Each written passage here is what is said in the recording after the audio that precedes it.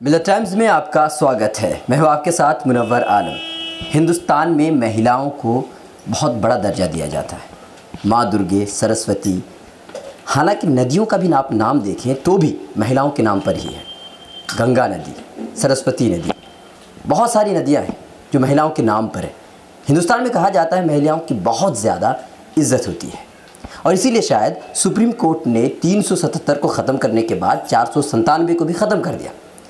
उनका कहना यही था कि महिलाओं को समानता दी जाएगी। उन्हें सशक्त करने के लिए ये फैसला लिया गया। फिर उसके बाद चार सौ तीन, चार सौ संतानवे को ख़त्म करने के बाद फिर से साबरीमाला मस्जिद में महिलाओं की प्रवेश को जायज़ करार दिया।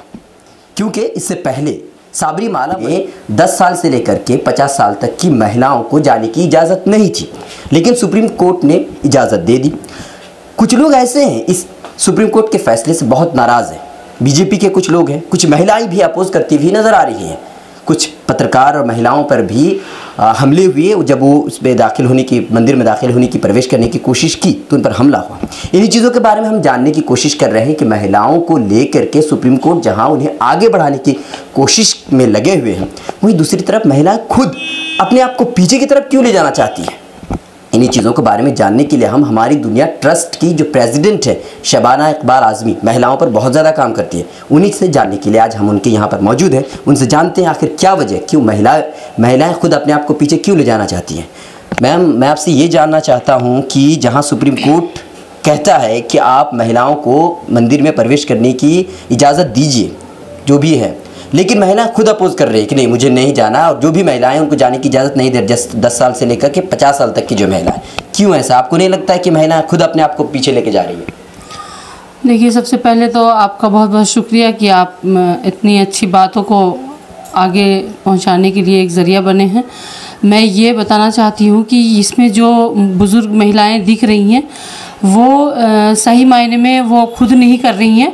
उनको एक आ, मतलब बनाया गया है मुद्दा ताकि महिलाओं से ही महिलाओं को ही मतलब चोट दिया जाए रुकवाया जाए। चूँकि अगर इसमें पुरुष आते हैं और ये बीजेपी की सरकार जो है इनका पूरा प्लानिंग है ये बहुत बड़े प्लानर हैं। और इन्होंने हमेशा से कोर्ट का मतलब अवमानना किया है। इन्होंने कभी भी कोर्ट का मान्यता नहीं लिया है। जब भी इनके इनके फेवर में होता है तो ये बहुत वाह वाह अच्छा, करते हैं। बात जब आपने कहा कि बीजेपी की ही लोग बीजेपी के लोग इस तरह कर रहे हैं हम्म। लेकिन जब तलाक पर जब फैसला आता है तो बड़े खुश होते हैं वो तो कहते हैं कि महिलाओं के साथ है। हाजी हाजी अली दरगाह पर जब महिलाओं को जाने की इजाज़त दे दी गई तो बड़े खुश थे वो लोग कि महिलाओं को समानता मिल रही। तो फिर यहाँ पे क्यों वो लोग अपोज करते हुए नज़र क्योंकि ये बीजेपी की सरकार जो है ना, दोहरी नीति है इनकी। ये हर जगह दो तरह की नीति चल रहे हैं हिंदुस्तान में। कहीं पे तो ये गौ को माता कहते हैं और कहीं पे ये सबसे ज़्यादा सप्लाई करते हैं। ये आपसे छुपा हुआ तो है नहीं। तो इसी तरह से जैसे बॉम्बे में दरगाह पे महिलाएँ जो जाने लगी तो ये इन्होंने बहुत अच्छा कहा कि नहीं, कोर्ट का बहुत अच्छा सम्मान करते हैं। और अभी जो है, जो कोर्ट का फैसला आया, उसको ये नहीं मान रहे और इनके जो जेंट्स हैं, वो अगर इस चीज़ को रोकते या जो भी करते तो वो महिलाएँ इन पर किसी भी तरह का, जो कि अभी चल रहा है मी टू इन्हीं का वो है। क्या कहते हैं प्रोग्राम है बीजेपी का, ताकि बाकी चीज़ों पे ध्यान लोगों का ना जाए और मी टू और ये और वो बस ये इन्हीं चीज़ों में ये लोगों को उलझा के रख रहे हैं। बाकी महिलाएँ समझती हैं और जो महिलाएँ रोक रही हैं, वो इन्हीं की एजेंट का तो कभी कभी मैं कंफ्यूज हो जाती हूँ कि ये बीजेपी सरकार तो हिंदुत्व पे आई थी कि हिंदू राष्ट्र बनाएँगे लेकिन मुझे तो कहीं नहीं लग रहा कि ये हिंदू राष्ट्र ये मुस्लिम राष्ट्र बनाने की तैयारी कर रहे हैं चूँकि इनका सारा फोकस मुसलमानों पे ही है और मुस्लिम महिलाओं पे है। जैसा कि अभी इन्होंने तीन तलाक के लिए मुसलमान महिलाओं को बिल्कुल बहुत ही ध्यान में रख करके इस पर बहुत बड़ा इन्होंने वो इशू किया। और मुझे बहुत अफसोस के साथ कहना पड़ता है कि ये अपनी हमारी जो हिंदू बहनें हैं, उनके बारे में ये बिल्कुल भी नहीं सोच रहे हैं।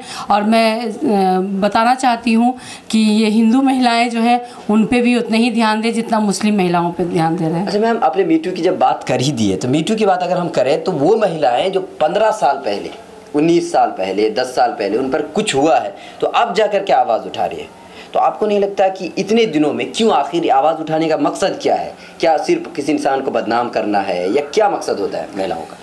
देखिए, ये मी टू जो है, वो दो चीज़ें हैं।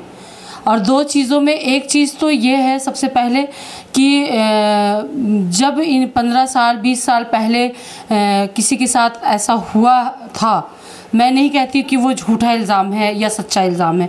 ये तो कोर्ट साबित करेगी। कोई फ़ैसला करने वाला नहीं है कि वो मतलब ये सच है या झूठ है।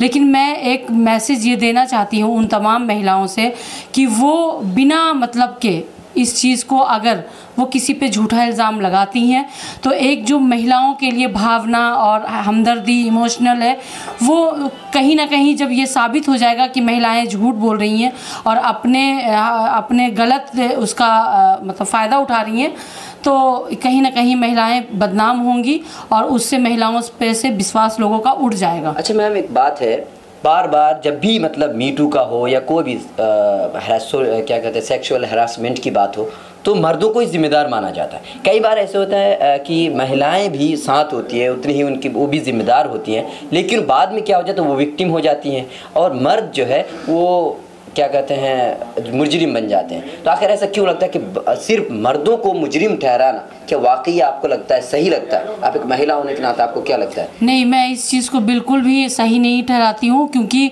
कहीं कहीं पे महिलाएँ भी बहुत ज़्यादा दोषी होती हैं, और वो पुरुष जो सही होते हैं, उनको वो शिकार बनाती हैं। कहीं कहीं पे पैसों के लिए वो उसको नाजायज़ फ़ायदा उठाती हैं। कहीं कहीं पे बदले के भावने से कभी कभी उनको टारगेट करती हैं। तो कुछ हैं कुछ हैं पर ज़्यादातर महिलाएँ मतलब हैं जिनको जिन पे ये अत्याचार होता है। जैसे कि आप देख लें तो 60-70 परसेंट महिलाएँ हैं जो उन पे जुल्म हुए हैं और 30 परसेंट जो महिलाएँ हैं वो आज के टाइम के हिसाब से वो बहुत ही चलाक हो गई हैं। अच्छा। तो वो अपनी चलाकी कहीं ना कहीं निकालती चलिए बहुत बहुत शुक्रिया मैम।